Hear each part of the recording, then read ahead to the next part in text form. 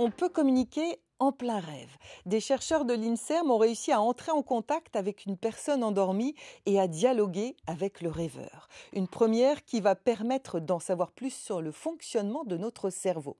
On savait déjà que les rêveurs lucides, c'est-à-dire ceux qui ont conscience d'être en train de rêver, peuvent communiquer avec l'extérieur. Ce qu'a découvert cette équipe de l'INSERM, c'est que ça peut aller dans les deux sens. On peut entrer en contact avec quelqu'un qui est endormi.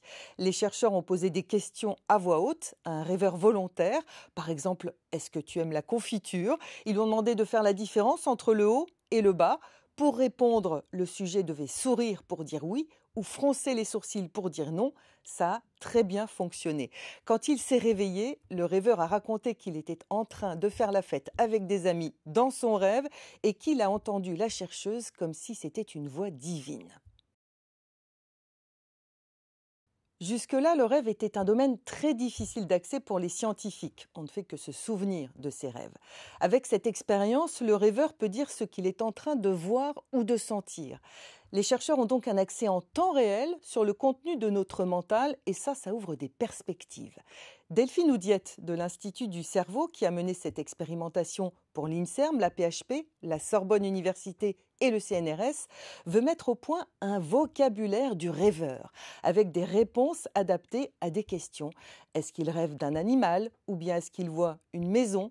Les réactions seraient alors une combinaison de contractions des muscles.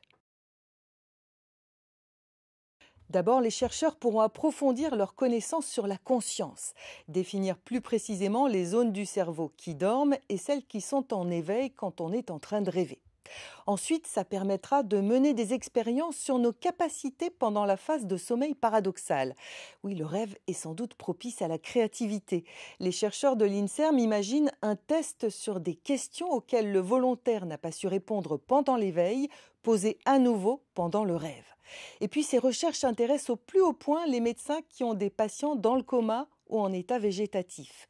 Ce type de communication pourrait être un moyen d'entrer en contact avec des patients qui perçoivent le monde extérieur mais qui ne sont pas capables de le faire savoir.